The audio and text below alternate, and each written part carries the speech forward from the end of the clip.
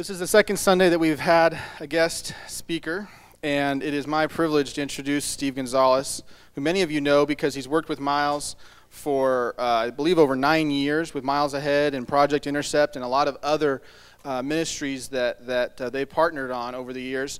Um, Steve was a crusade director with Miles Ahead for five years, and um, he's an incredible man of God. He's an incredible teacher, and we are very blessed that he's pinch hitting for our pastor today. And uh, let's just let him know how much we appreciate him. Steve Gonzalez.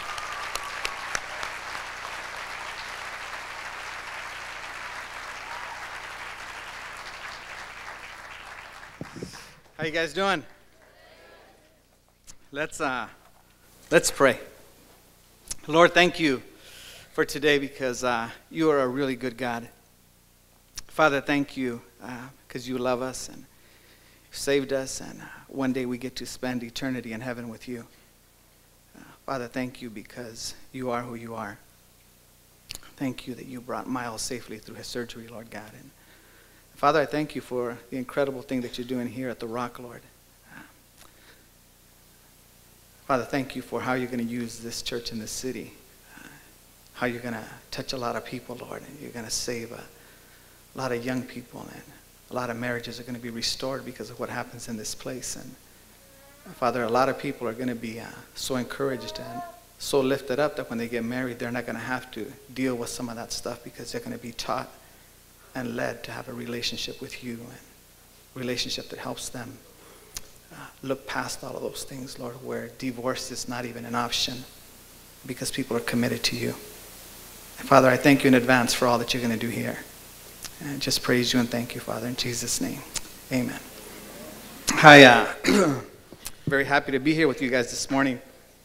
Hi, uh, this is a complete change for me today. I spoke at a church last week down in South Bay. Oldest member is 104. Average age is like 70. Those people loved me like I have never been loved before. Everybody was my grandma and everybody was my grandpa. You know what I'm saying? They just greeted me when I came in the door, and everybody made sure that they came and introduced themselves to me. So it was a really, really good time, but this is a total shift from that. Um, and then you guys were, there's just so much that I want to share with you guys because I don't know if Miles is ever going to ask me to come back. So I, you know, I may stay up here for a while. Um, I heard you guys, when, when, you guys were singing that song about uh, saying how much you love Jesus and stuff.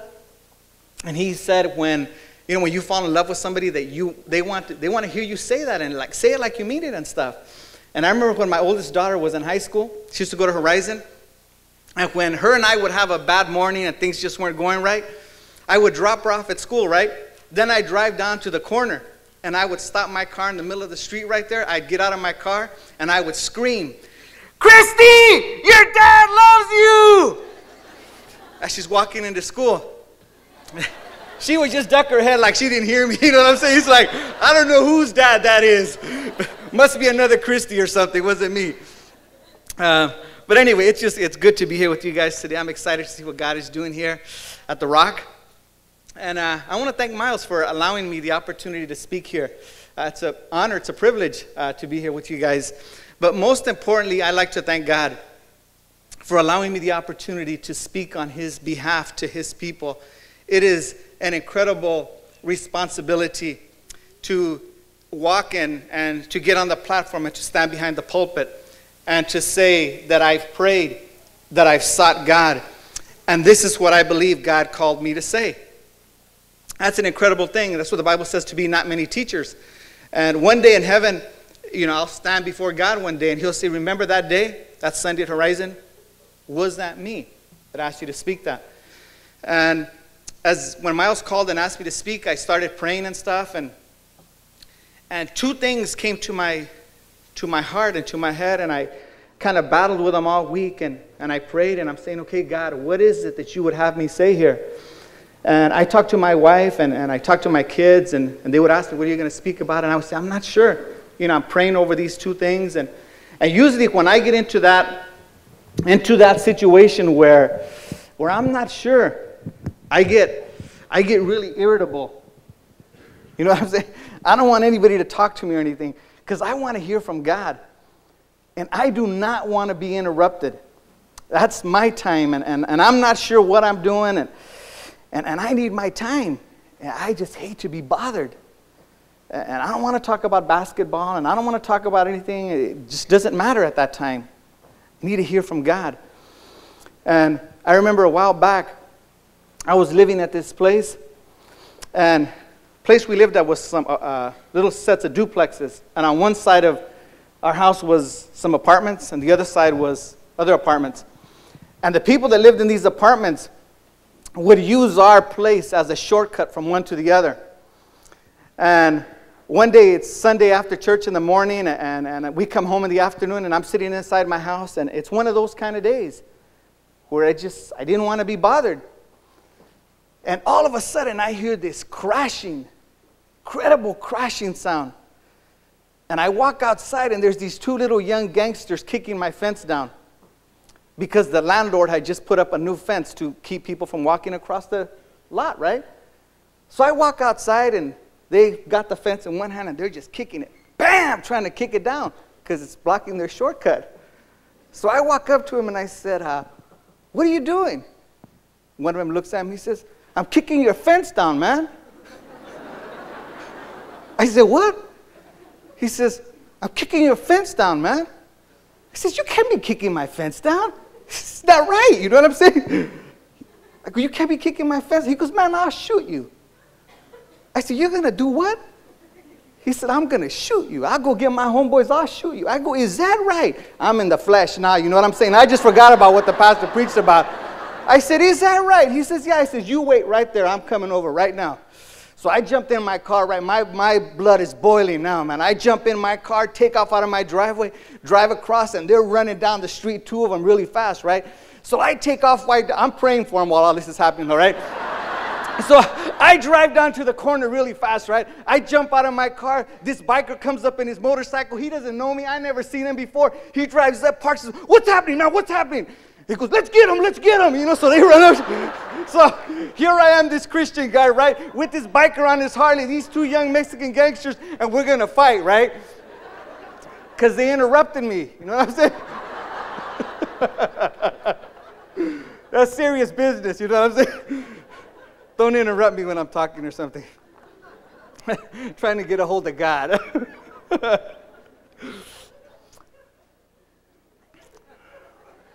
I don't want to be interrupted. I get kind of rude sometimes when I get interrupted. And my wife holds me in check. And when I shared this message with her and what it was about, I had just been rude with my son because he interrupted me.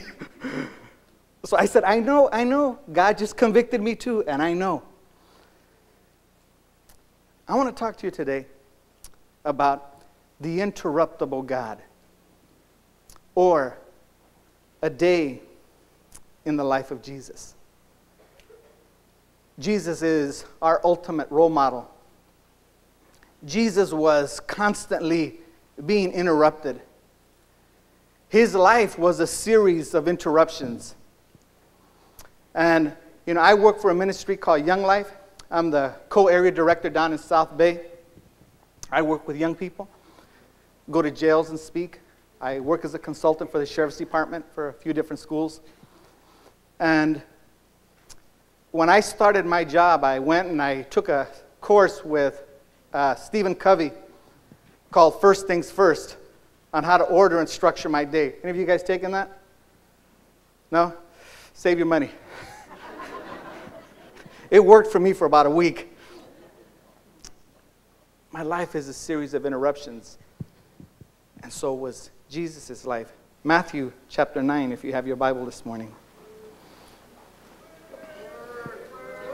Word. Oh, okay. Word? Must be a cultural thing that you guys got going here.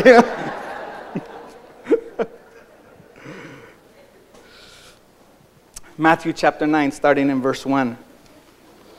The interruptible God, or a day in the life of Jesus. Jesus stepped into a boat, crossed over, and came to his own town. Some men brought to him a paralytic lying on a mat. When Jesus saw their faith, he said to the paralytic, Take heart, son, your sins are forgiven. At this, some of the teachers of the law said to themselves, This fellow is blaspheming. Knowing their thoughts, Jesus said, Why do you entertain evil thoughts in your hearts? Which is easier to say, Your sins are forgiven, or to say, Get up and walk? But so that you may know that the Son of Man has authority on earth to forgive sins, then he said to the paralytic, Get up, take up your mat, and go home. And the man got up and went home. When the crowds, when the crowd saw this, they were filled with awe, and they praised God who had given such authority to men. As Jesus went on from there, he saw a man named Matthew sitting at the tax collector's booth. Follow me, he told him. Matthew got up and followed him. While Jesus was having dinner at Matthew's house, many tax collectors and sinners came and ate with him and his disciples. When the Pharisees saw this, they asked his disciples, Why does your teacher eat with tax collectors and sinners? On hearing this, Jesus said, It is not the healthy who need a doctor, but the sick. But go and learn what this means. I desire mercy, not sacrifice. For I have not come to call the righteous, but sinners. Then John's disciples came and asked him, How is it that we and the Pharisees fast, but your disciples do not fast? Jesus answered, How can the guests of the bridegroom mourn while he is with them? The time will come when the bridegroom will be taken from them, then they will fast. No one sews a patch of unshrunken cloth on an old garment, for the patch will pull away from the garment, making the tear worse. Neither do men pour new wine into old wineskins. If they do, the skin will burst, the wine will run out, and the wineskins will be ruined. No, they pour new wine into new wineskins, and both are preserved. While he was saying this, a ruler came and knelt before him and said, My daughter has just died, but come and put your hand on her, and she will live.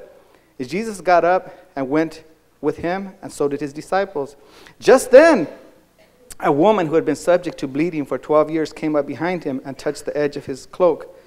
She said to herself, If only, if I only touch his cloak, I will be healed. Jesus turned and saw her. Take heart, daughter, he said.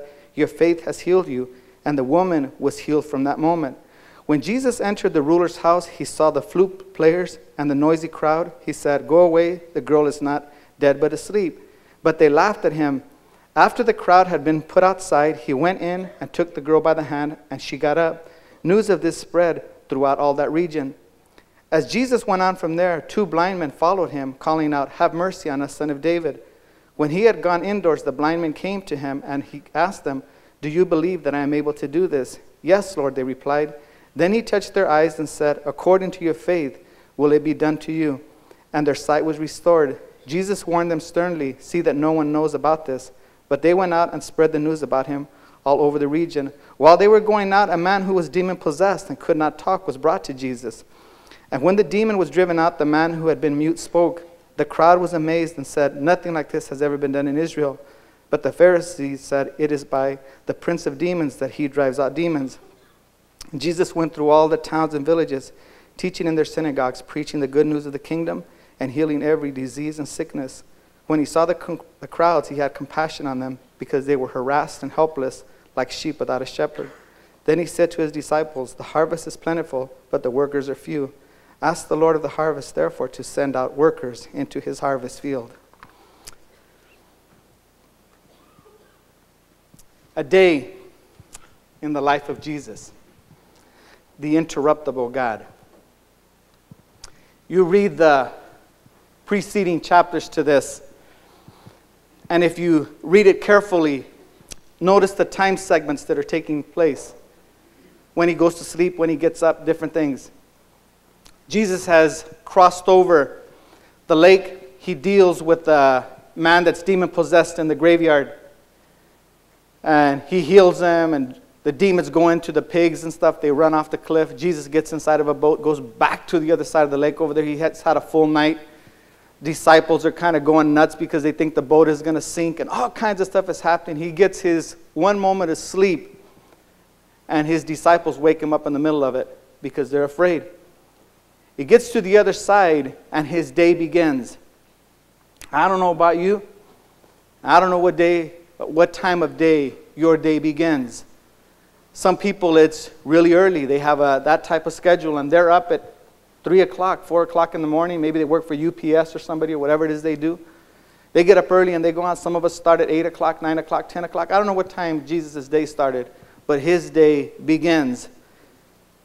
And I look at this thing, and it says, Jesus stepped to him into a boat, crossed over, and came to his own town. Jesus is coming home to the place where he lived, where he grew up. Now, I don't know if he was there possibly to visit his mom, maybe. Maybe there, he was there just to check in and see how things are going. See how Joseph's carpenter shop is doing. See how his brothers and sisters are doing. Maybe he just needs time away. Too much stuff is coming at him. I don't know. I'm guessing. But he's coming home. He gets off the boat, and automatically something happens. I don't know if he had plans before then, but if he did, his plans just went right out the window. And I don't know how many of you that has ever happened to you when you've got your day all figured out.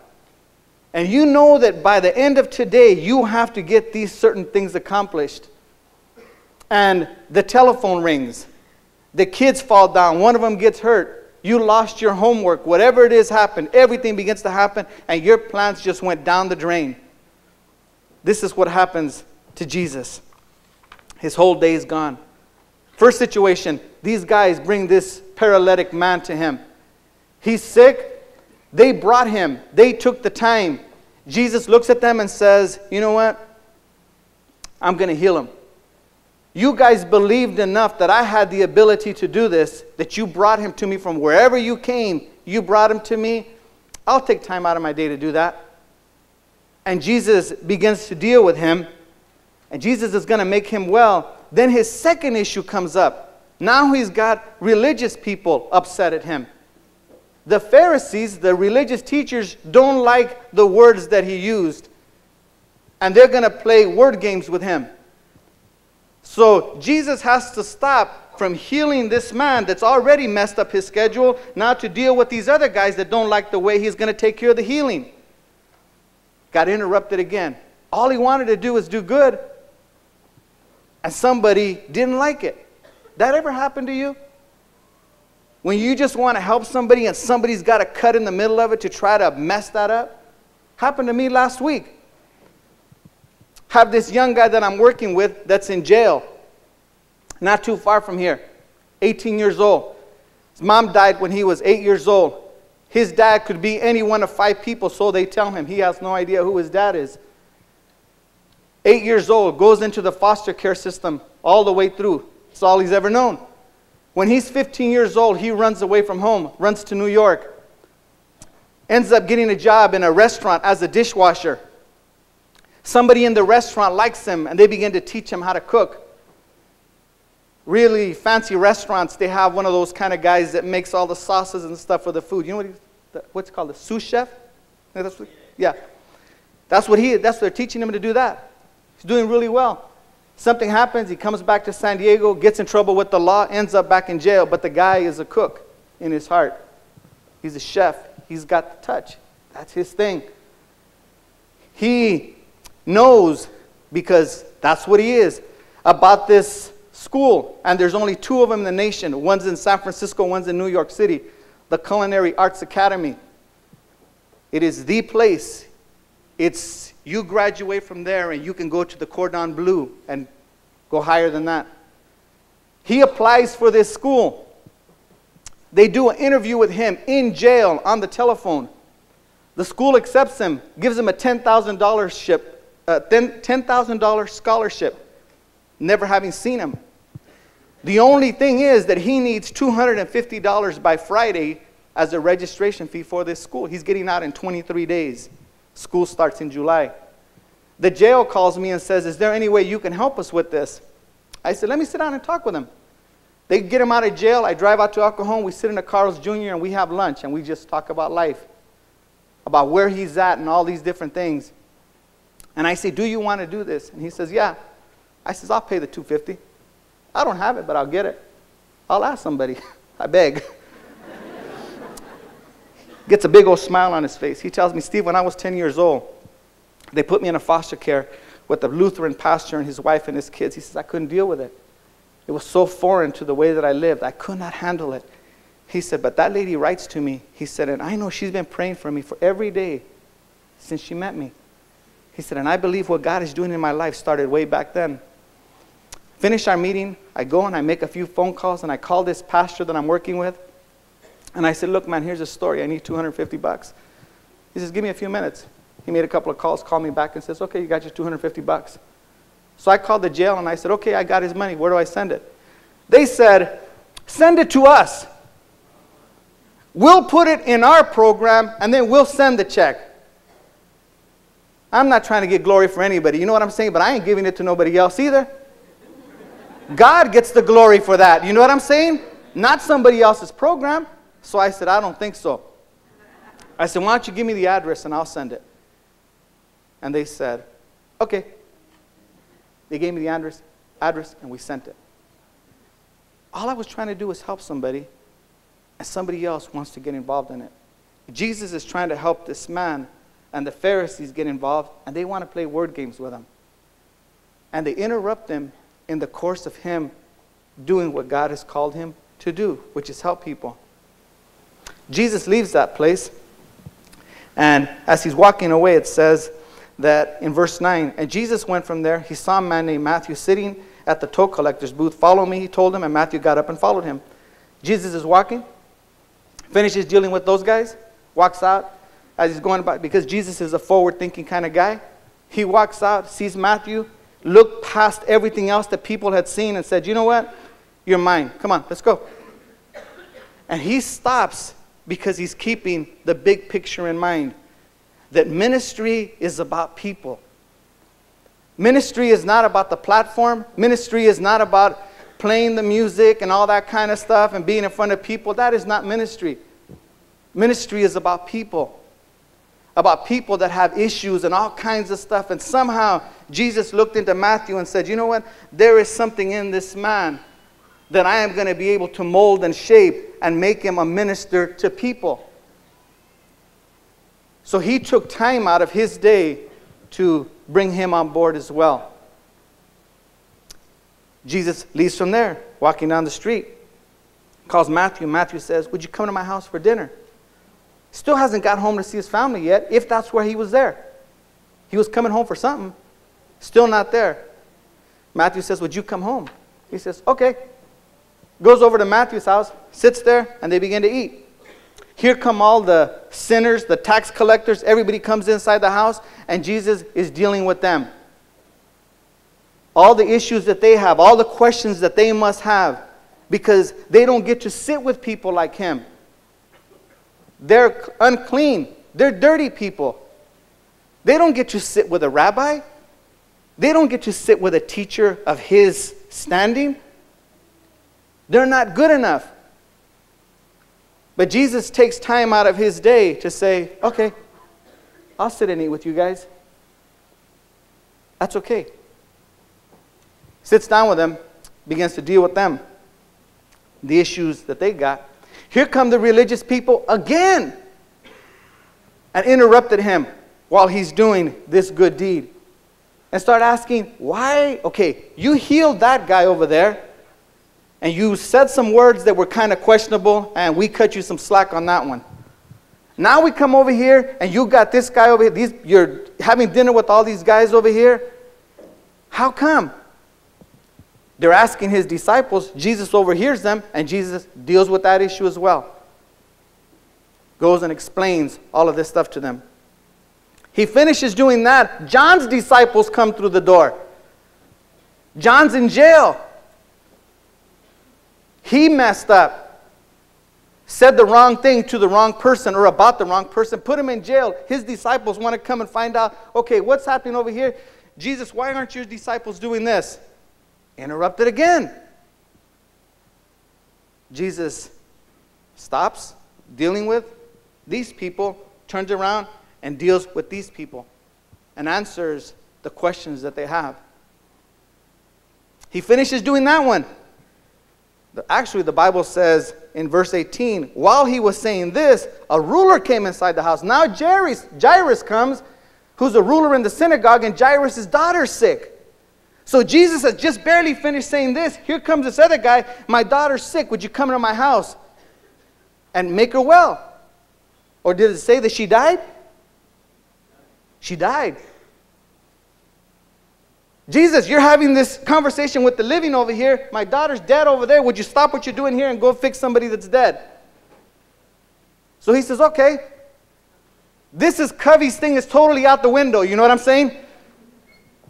Because the time management thing tells you that you prioritize your schedule. You got A, B, C's, D's, and E's, and all the way down. Then you put a A1, A2, A3, and all, and then B1, B2, B3, C1, C2, C3. And you go all the way down the list. Now, I guarantee you that healing dead girl was not on the schedule that day. You know what I'm saying? But it came in to the middle. Jesus says, okay, let's go. So Jesus gets up, starts walking out the door, and as he's going to raise this girl from the dead, another lady comes walking down the street. She's had an issue of blood for 12 years, spent all her money, the Bible says, and nobody could make her well. She sees him walking down the street, and this thought creeps into her mind if I just touch the hem of his garment, everything is going to be okay. So she comes up to him. He's just walking. She grabs him. The Bible says that he knew that virtue, something had left his body, and he stops. Said, Who touched me? The disciples, in one of the other gospels, the disciples says, Lord, how are we supposed to know that you're surrounded by all these people? Jesus says, She's here. Find her. They find the woman, she comes down, falls at his feet, and Jesus stops and he deals with her. Because she's got issues too. He gets her all straightened up and everything, tells her everything's going to be okay, everything's fine and everything. Gets up, and then he starts on his road again. Gets to Jairus' house, opens up the door. In those days, they would have professional mourners. If you had a lot of money, you could hire people that would come and cry for you. They would, if you had a lot of money, you buy a lot of wailers. You know what I'm saying? Look like you're real popular. Everybody loved you and stuff. You know, I better have a lot of money. You know what I'm saying? So people could come and cry for me. He comes in, and all of these people are crying inside of the room, and he stops and he deals with them. They laughed at him. They laughed at him. And he says, Get him out of the room. So he's got to wait till all of these people get out of the room. Then he goes over, he gets the little girl up, he picks her up, brings her back to life. Finishes there, says, as Jesus went out from there, he finds two blind men outside waiting for him. Walking down the street, the two guys start yelling at him. They're yelling, Have mercy on us, son of David. He hears them yelling at him. The Bible doesn't say he stopped that time. He kept walking. Then the Bible says that he went indoors. And when he went inside, then they came to him. I wonder how come. I wonder why he didn't stop like he did with the lady that had the issue of blood. I wonder how come he didn't stop for them the way he stopped dealing with the tax collectors and those guys to do this. I don't know why. When we get to heaven, we'll ask him. But he didn't. They come inside the house or wherever they were at, and Jesus healed them. He finishes healing them. It says, while they were going out, another demon possessed guy walks inside the door. He's got an evil spirit that he can't speak, and Jesus deals with him. He still hasn't got wherever he's going. He's going every place else, dealing with all these different issues. He walks, the Bible says. Jesus went through all the towns and villages, teaching in their synagogues, preaching the good news of the kingdom, and healing every disease and sickness. When he saw the crowds, he had compassion on them because they were harassed and helpless, like sheep without a shepherd.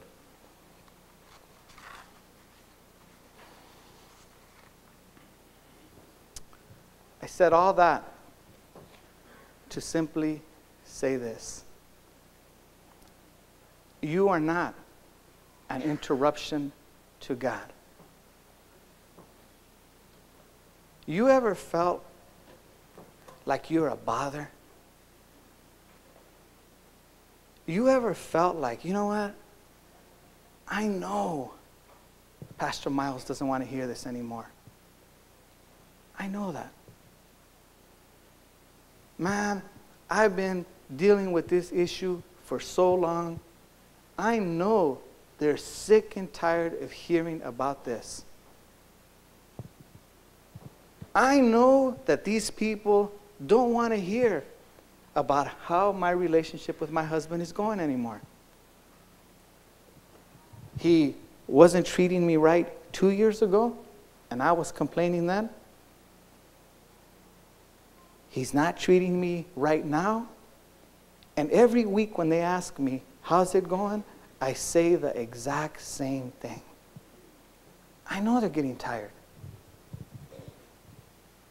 And sometimes, I don't know about you, but I know that sometimes I don't want to bother God anymore. I've been asking Him to change me for 18 years.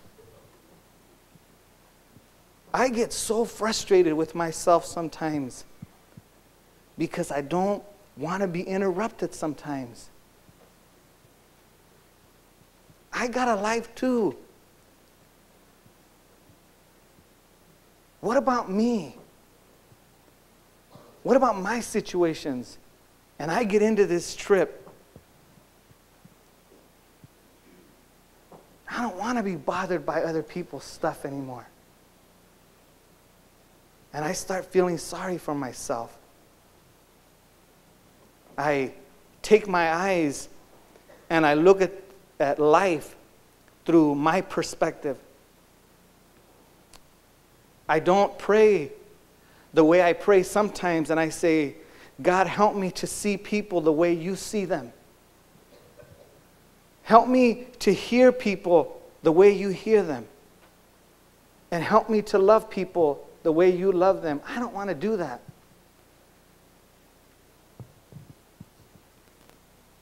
Sometimes I just, I just don't want to deal with it.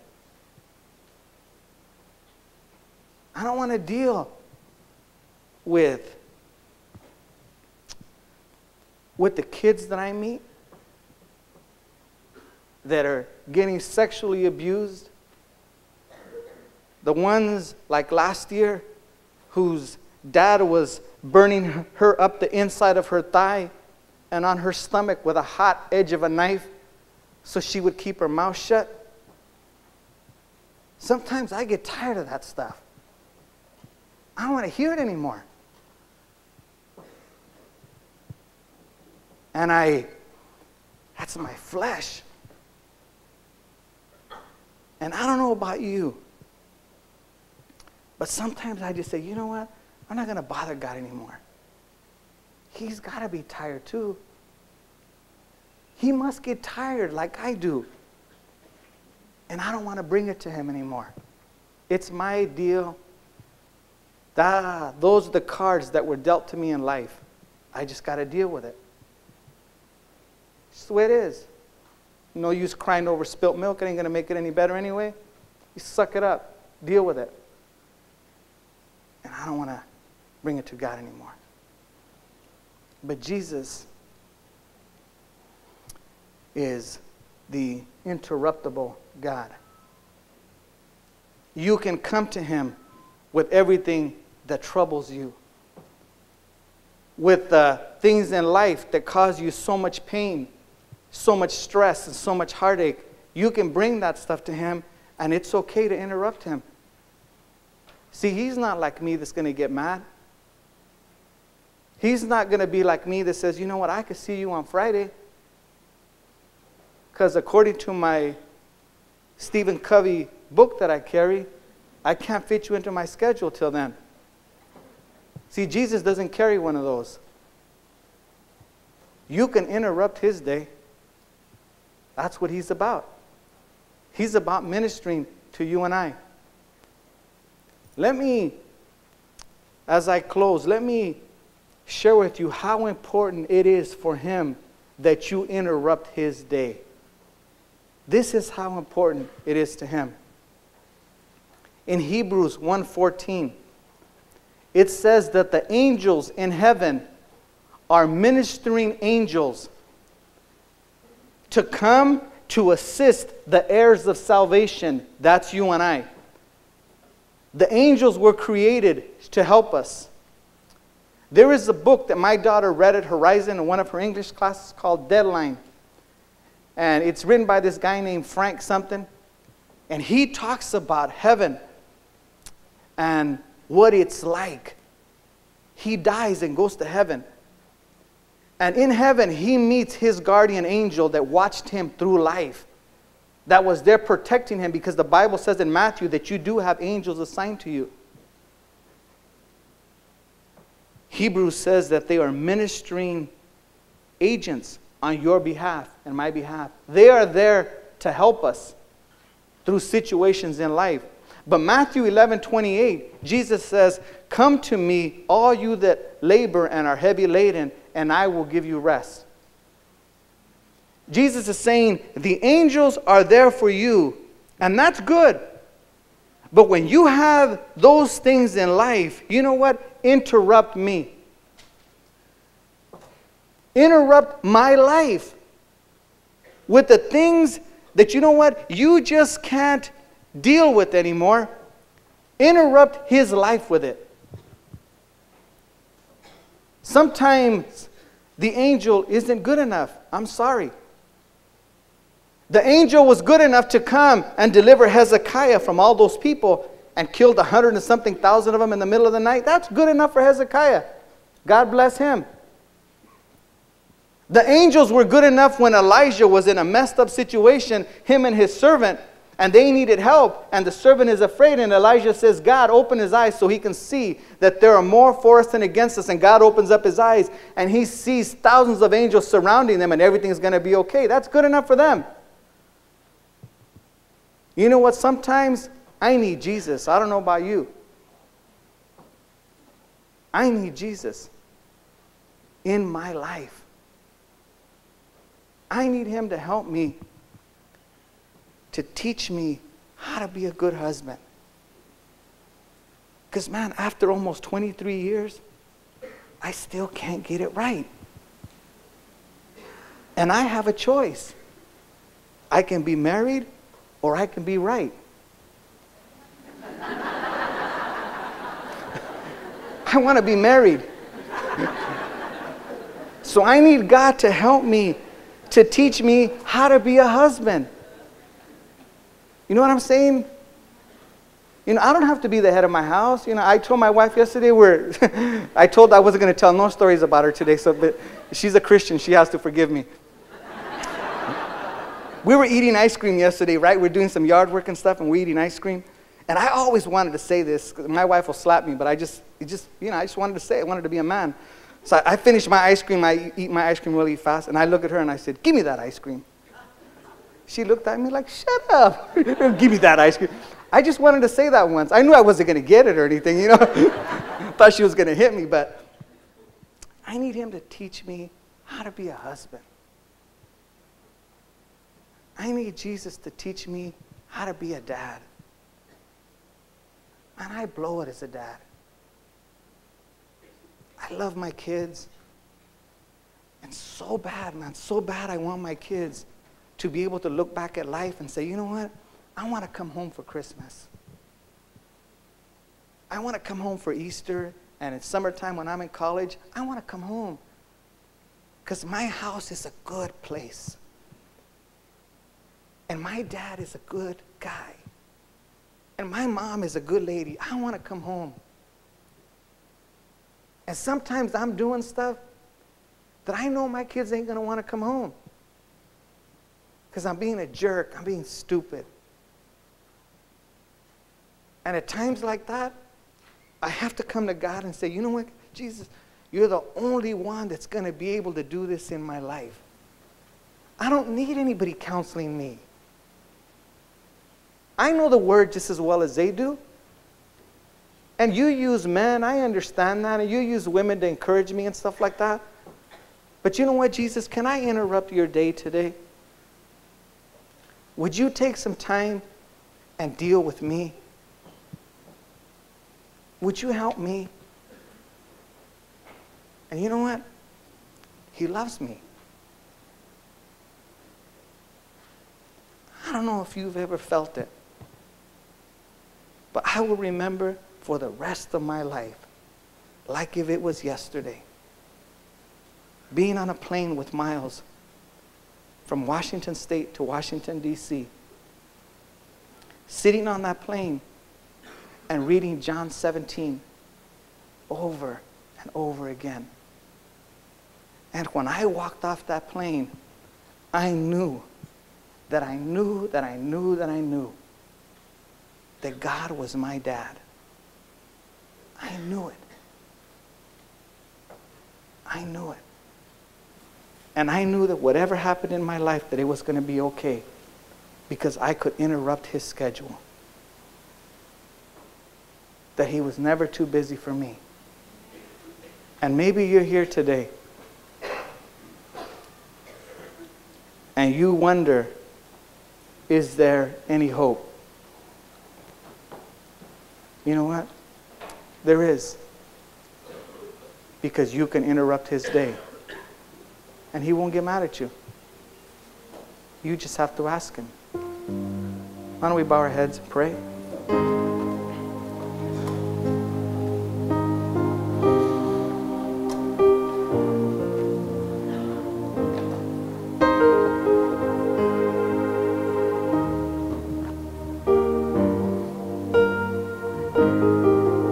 Lord, I think of your word that says that I can come and cast all my cares upon you because you care for me.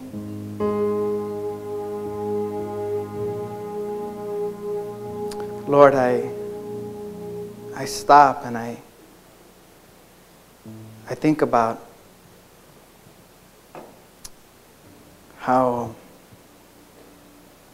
you are bombarded daily with literally millions and millions of people calling out to you and asking you for help. And Lord, I'm amazed that you are so big that you can stop and you can deal with every single issue, regardless of how big or how small it is and that you have the ability to make it right. Father, I thank you that when Moses and the people were at the edge of the Red Sea and they were about to be destroyed, I thank you that you came and you parted the Red Sea and you brought your people to safety. Lord, I thank you that as the Jews are being sentenced to death, you make time to hear Esther's prayer. And you honored it and you gave her favor before the king. And you brought deliverance for your people. I thank you, Father, that in the midst of the fiery furnace, you were interruptible enough for those people, Meshach, Shadrach, and Abednego, Lord God. You allowed them to uh, come before you and you delivered them, your name was lifted up because of it. And Father, I pray today because there are people in this place, Lord God, that are carrying situations and they're wondering if it's ever going to be better. And I thank you because today you're going to make it better for them I thank you, Father, that even though um, maybe other people are tired of hearing it, and I thank you that um, that even though um, even though they're so frustrated, God, with the situation, I thank you that you brought them to this place so that they could turn to you. Father, because the deliverance that you work for them is going to be huge. And the only person that's going to be able to get the praise and the glory is you.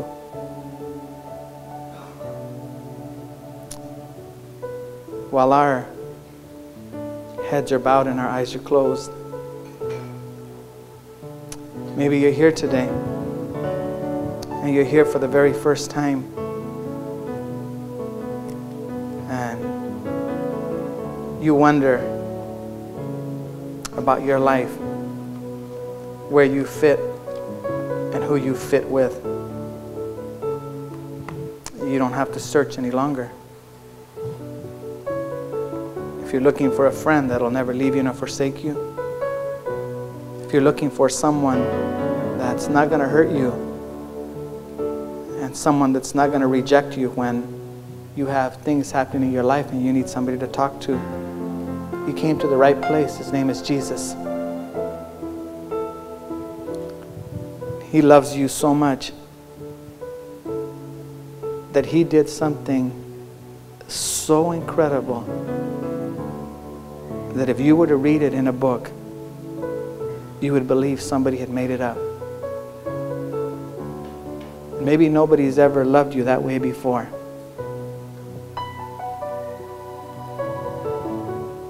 He loved you so much. He let people laugh at him and spit on him and hit him. They mocked him, they stripped him of his clothes. He was naked to everybody. They put a crown of thorns on his head. They nailed him to a cross by his hands and his feet. They stuck a spear in his side. And in the midst of all his pain and agony, in the midst of everything that is happening to him, he allowed himself to be interrupted at that time to save the thief that was next to him on the cross. He made time for him even in the midst of all of that. And He makes time for you as well.